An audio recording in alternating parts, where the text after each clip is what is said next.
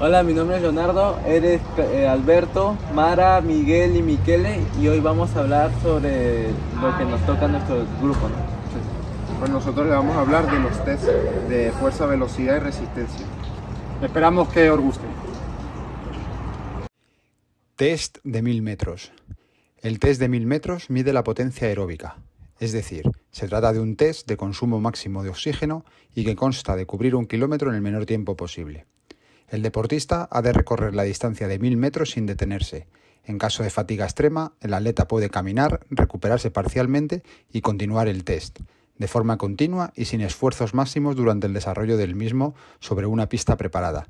Este test nos ofrece dos valores, el volumen de oxígeno máximo relativo y la velocidad aeróbica máxima o VAM. Test de velocidad reactiva. El objetivo de esta prueba es medir la velocidad de reacción y la velocidad de desplazamiento y concretamente la aceleración que se debe realizar en un pasillo de 30 metros situado en una superficie plana y consiste en que deberemos correr a la mayor velocidad posible esta distancia tras reaccionar a la señal de salida.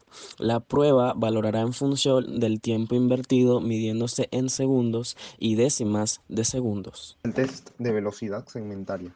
Taping test. El objetivo principal de este test es medir la velocidad gestual o segmentaria de la extremidad superior. Nos colocamos delante de la mesa con los pies ligeramente separados. Debemos situar la mano no dominante en el centro de la mesa y la otra mano sobre uno de los círculos. Al sentir la señal de inicio debemos de tocar alternativamente los dos círculos un total de 25 veces cada uno con la mano dominante, tan rápido como podamos. La prueba finaliza en el contacto número 50, el momento en el cual se detiene el cronómetro. Se registrarán los segundos y décimas de segundos invertidos en la prueba y anotaremos el mejor de los dos tiempos realizados.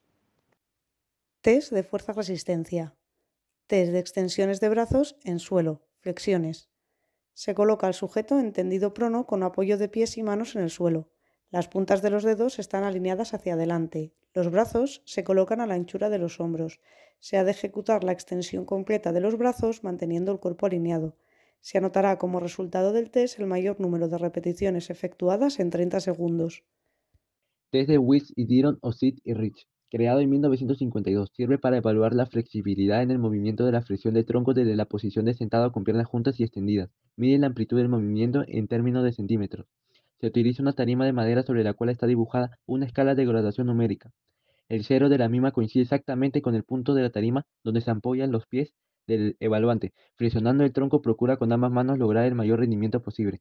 Conforme el ejecutante se aleja del cero se consideran los centímetros logrados con signo positivo. Por el contrario, la persona no alcanza la punta de los pies, se marcan los centímetros que faltan para el, para el cero, pero con un signo negativo.